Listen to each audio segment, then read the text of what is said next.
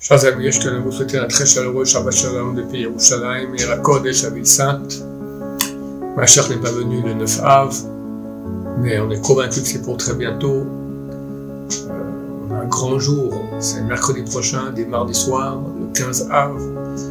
Comme disait Sage Israël, que le peuple d'Israël n'avait pas de plus grande fête que Yom Kippour et le 15 av. Et les raisons qui ont été avancées concernant le 15 av ont l'air assez euh, insuffisantes pour en faire le plus grand jour de fête du peuple d'Israël. Peut-être que c'est un rapport avec les Géoula que nous serons très très prochaine. En tout cas, dans notre parachat, parachat Hanan, il y a un signe très clair comme quoi la Géoula est proche. C'est dans le verset 30 du chapitre 4, Batsar Lecha, quand tu souffriras, qu'arriveront toutes les choses précitées, tous les malheurs que, le, que, Hachem fera tomber sur le peuple d'Israël en exil, en exil. à la fin des temps, tu reviendras, tu te repentiras vers Dieu, éternel ton Dieu, et tu écouteras sa voix. Et ça, chers amis, comme écrit le roi Chaim Kadosh, ce verset parle de la Géoula, et dit qu'à la fin des temps, il y aura des malheurs qu'on appelle les Mashiach, les douleurs d'enfantement du Messie, le peuple d'Israël fera tchouva.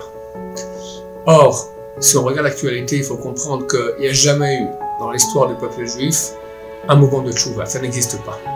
La seule fois où il y a eu, c'était à l'époque de Purim, mais c'est parce qu'il y avait une menace de mort. Lorsque Achashverosh a ôté sabbat qu'il a donné à Aman, il lui a dit fais de ce peuple ce que tu veux, et Aman a décidé de tous les tuer le même jour, alors ils ont fait une grande chouva c'est une chouva par la peur.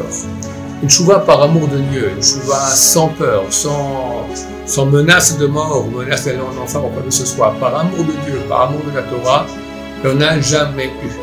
La seule fois où il y a eu, c'est maintenant. Ça fait environ 40 ans que ce grand mouvement extraordinaire a commencé. Avant, on ne connaissait pas un seul Baal Chouva, un seul qui a fait Chouva. Aujourd'hui, on ne connaît pas une famille où il n'y a pas un qui a fait Chouva. Pas au Hachem. C'est un, changement radical dans la conscience du peuple juif qui montre, comme explique le Ohar HaMakadosh, le HaMakadosh cite un Zohar, que l'ange Michael a dit à Dieu, voilà, il y a eu les souffrances, il y a eu l'exil, il y a tout eu. Alors pourquoi, pourquoi la Goula ne vient pas? Et le Ohar HaMakadosh dit, on attend que Dieu réveille le cœur du peuple d'Israël à faire tchouva. Et chers amis, Hashem, aujourd'hui Dieu a réveillé ce cœur. Aujourd'hui, il y a des, des centaines de milliers, voire des millions de gens qui se rapprochent de la Torah. C'est extraordinaire. Donc, c'est clair que nous sommes extrêmement proches de la Géoula. On espère encore cette année, bien sûr. Euh, c'est marqué dans ces suites. Ben David Ba, en sortant de cette année, le fils de David, le Machar, qui vient. Nous sommes dans cette année de sortie de septième année. Toute l'année, jusqu'à Rosh Hashanah, dans un mois et trois semaines, sont concernés par euh, ce titre de en sortant de septième année. Il faut savoir qu'il faut se renforcer beaucoup dans la tchouva.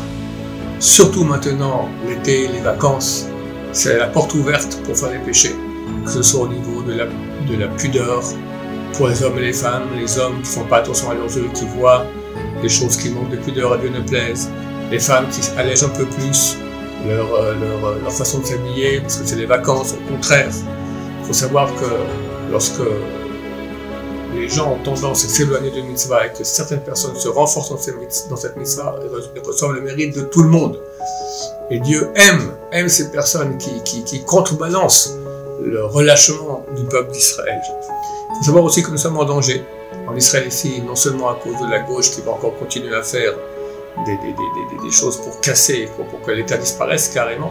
D'accord? Si je vais avoir un témoignage d'un dirigeant de la gauche qui a dit qu'on va, on va casser l'économie israélienne, mais il y a nos ennemis au Liban, le Hezbollah, on est très proche d'une guerre, comme ça tout le monde le dit, c'est pas quand ça sera, et si, ça a lieu à Dieu ça peut être terrible. J'ai fait un cours sur euh, une prochaine guerre aussi éventuelle, il semblerait, avec l'Iran. Tout cela, chers amis, doit nous montrer qu'on doit se réveiller, faire tchouva, avoir confiance en Hachem. Baruch Hachem nous a fait tellement de miracles, nous a nous a sauvé pendant 2500 ans qu'on est resté un peuple, on n'a pas disparu, on aurait pu être complètement assimilé avoir, avoir disparu. On est là, on revient sur la terre.